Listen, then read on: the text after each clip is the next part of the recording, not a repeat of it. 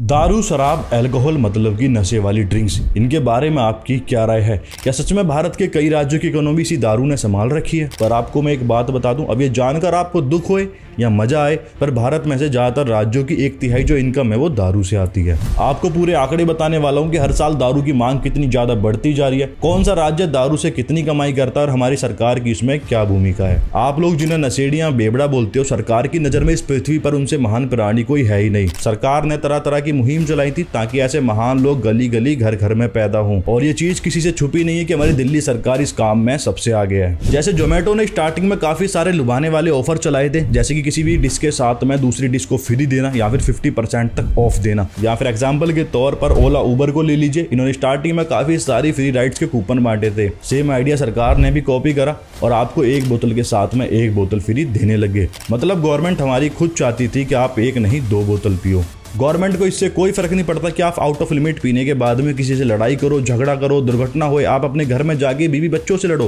Government को इससे कोई फ़र्क नहीं पड़ता, क्योंकि अभी तक हमें ये बात समझ आ जानी चाहिए कि सारी पार्टी सिर्फ़ अपना फ़ायदा देखती है और हमें अपना फ़ायदा नुकसान खुद समझना होगा। एल्कोहल का जो ग्लोबल मार्केट है, वो साल 2023 में 1609 बिलियन डॉलर का रहा, जो कि पाकिस्तान की इकोनॉमी का पाँच गुना है, जिसमें 610 बिलियन डॉलर सिर्फ़ बियर का है और ये आंकड़ा हर साल पाँच परसेंट की दर से बढ़ता जा रहा है। अगर इसमें भारत के आंकड़ों की बात करते हैं तो भारत के अंदर ये मार्केट तीन लाख करोड़ रुपए की और हर साल ये सात परसेंट की दर से बढ़ती जा रही है। कोरोना के पहले, यानी कि 2019 से पहले अल्कोहल पीने के मामले में अपर क्लास और मिडिल क्लास का सबसे ज़्यादा योगदान था, जो कि 2019 के बाद में लोअर क्लास और मिडिल क्लास का ज़्यादा योगदान बढ़ गया है। 2005 में एवरेज भारतीय ढाई लीटर दारू पीता था, जो कि साल 2016 में बढ़कर 5.7 लीटर हुई और आज के टाइम में ये बारह लीटर से भी ज़्यादा पहुँच चुकी है। एक एनजीओ द्वारा करे गए सर्वे में आंकड़े निकल कर आए हैं कि चार में से एक महिला ने कभी न कभी दारू या बियर का टेस्ट करा है और वहीं पर तीन में से एक पुरुष ने कभी न कभी दारू या बियर का टेस्ट करा है और धीरे धीरे टेस्ट करने के बाद में इनमें से काफ़ी सारे लोगों ने इसको अपनी आदत बना लिया है। अब किसी चीज़ को बेचकर सरकार की इकोनॉमी का एक तिहाई हिस्सा आ रहा हो,